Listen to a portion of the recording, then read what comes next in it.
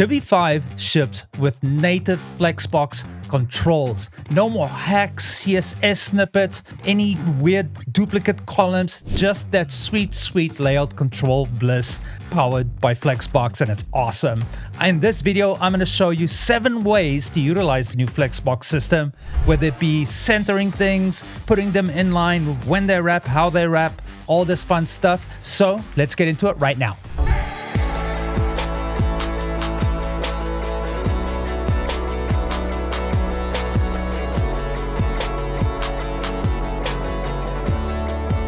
To show you guys how this new awesome Flexbox feature in Divi 5 will change the way you work, I've got seven scenarios here that we're going to go run through and show you how to do these various things. Now, first thing that I've got up here is the evenly spaced button group in one column. And to go ahead, do exactly that, we're just gonna go here on the column settings and the specific column, not just the row, you wanna go to the specific column and then design, layout, and now you, you can see that the flex direction is saying down. All we gotta do is switch it and say right. And now you can see, bam, those pop in. And now you can also control the spacing. You can put them in the center with the justify content. You can do space between, that'll put them evenly apart from each other.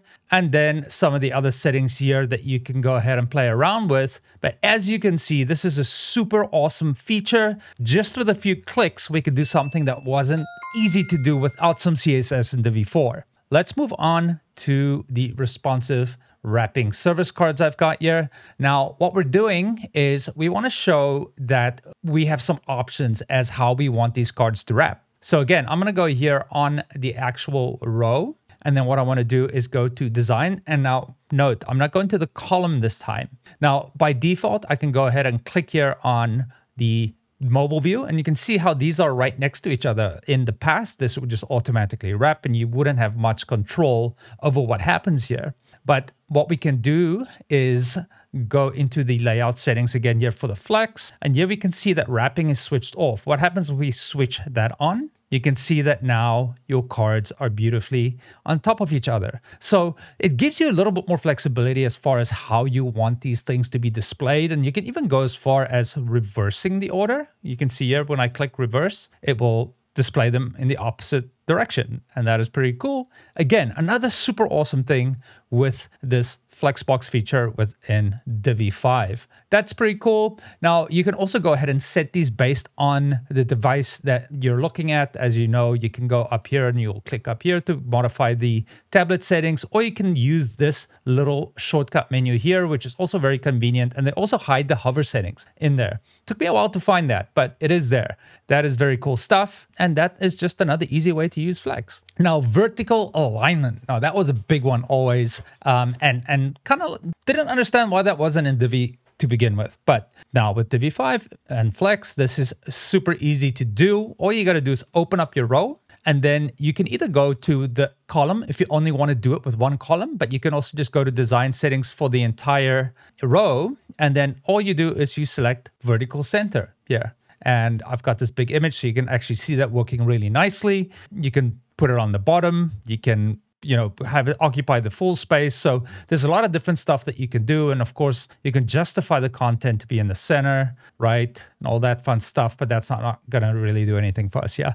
But that is another cool thing with flexbox and Divi 5 i love it. Now, how do we go about reordering different things within Flexbox, right? Because sometimes it makes more sense on mobile to have the the natural flow that you would if if this was on a desktop or something like that. So here I've got a two column row and I've got a title here on the left hand side with some text and an image on the right. And when we go and make this smaller, we can see that okay, we've got the text at the top and then the image, but maybe we want the image to be at the top when we are on a mobile device. Now we can go ahead and do this by changing the order of these columns. So if I go on these settings for the actual row, I am going to go and select the first column, which is our text column, and you'll see this new order option. So if I go into order, I can say, okay, well, on mobile, I want this item to be second in the display order and that places the text. You can see that it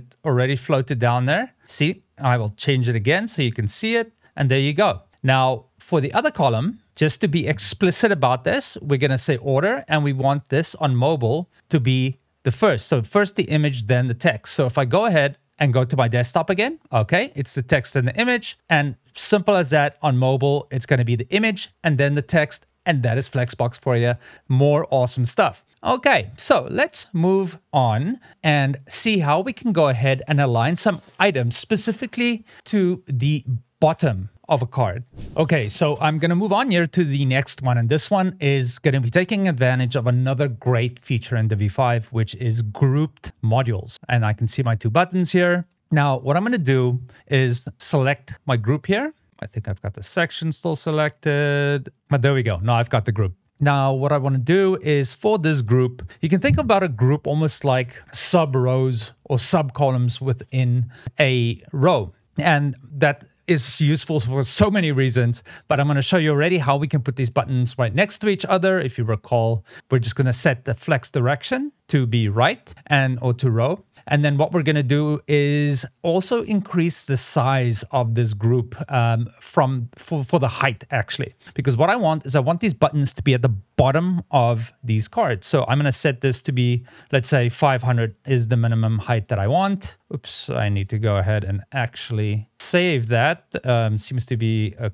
here of Divi 5, but there we go. Now it's got all this space. And of course, you won't do this in the real life, but I just want to exaggerate it so you can see what's happening. Now, what we look at is the align items in the layout settings, and then you can say bottom, and they'll stick to the bottom. They can go to the middle. They can take up the whole space or whatever.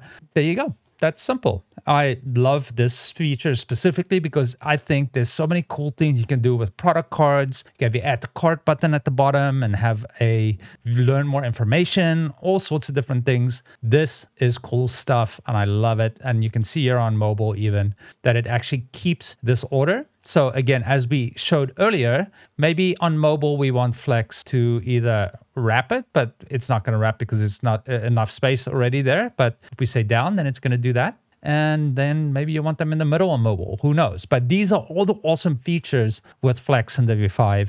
And I hope that you guys are seeing some cool ways that you're going to be using it. Now, I want to go to our next example where we make one column flexible and the others not. So depending on the device that the user is looking at this on or how they're resizing their browser window, this is going to change how these things are displayed. So right now, we can see here that on a tablet, let's say, these two kind of like shrink along or grow along with this one. Now, there are new settings again within your column structures here. Now, if I went to my first column and I go to design settings, then layout, It'll be on flex already, down, that's fine, all this fun stuff. But when we go to sizing, you can see that it's set to shrink to fit. And that's why when we go to a smaller, like a tablet screen, these actually go ahead and shrink to fit into that space. Now you can do a different thing here where you can say, okay, well, I don't want it to shrink to fit. Now, what's that going to do? Yeah, you guessed it. It's going to stay the same size. So now you can see here whether it's on tablet or on desktop,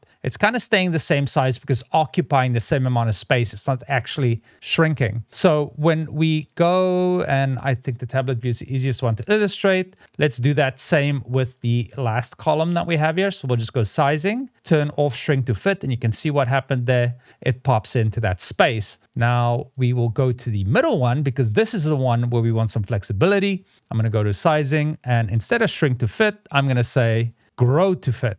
Now, obviously this is not doing anything there right now but you can think if you're on a desktop as you're stretching and shrinking this these two on the sides are going to stay the same size and the top one will stretch into any vacant space. What we will do quickly is i'm going to set both of these outlying ones to shrink to fit onto the page. Um, so i'll just go back to my third column again and design sizing and oh, this one still has shrink to fit on. Okay, good. So when I go to my tablet view again, you can see this one did go ahead and shrink, and this one went to grow to take up the additional space. So that is just an interesting thing that you can utilize for different types of layouts that you might have. Sometimes you might have an image of something that you always want to maintain a certain aspect ratio. That's what these type of settings are going to help you do. Now for the last one, I am going to show you how to do one of these group layouts by creating an asymmetrical layout, which used to be known as specialty sections in Divi 4. Now what we want to do is we are going to go ahead and click on the plus icon here. Now you can also see that there are some new options up here. There's group, group carousel, all sorts of stuff. I'll do another video on group carousel because there's really cool stuff you can do with that. But for now, I'll just add a group. Now you can see here that I do have a group. And then for this, all I need to do is, okay, well, I'm going to add a button module. And let's just add another button module in here just to illustrate this nicely for you. And there we go. Now that we have this group here, of course, we can do all sorts of stuff with it. We can again go into the settings and let's say we want these buttons to be inline. We can just go to design, layout, flex, and boom, make them inline. We can control where they are within this actual box. But of course, this is now within the container that it's in, it is in the group, right? So it's not going to change where it is in the layout. But where it would change though is if I went back to the actual settings for this entire row and go to that column and I go design and I go to layout, now I'm going to be able to put it either at the bottom, at the middle. I can put them to, to the right, to the left, in the middle again. So there's all sorts of stuff that we can do. And as you can see, these things are not going to change anything for the layout direction because we are controlling that within the actual group. This is such a cool feature in Divi 5 and Flexbox is going to change the way that you build. The, the, the type of sites that you can do is going to be amazing. So yeah, I hope you learned something through these today. But uh, if there's anything else you'd like me to go through, definitely let me know. But yeah, that's going to be it for Flexbox. Now, actually, before I go, I want to show you one more cool feature of Flex, and this is all about responsiveness.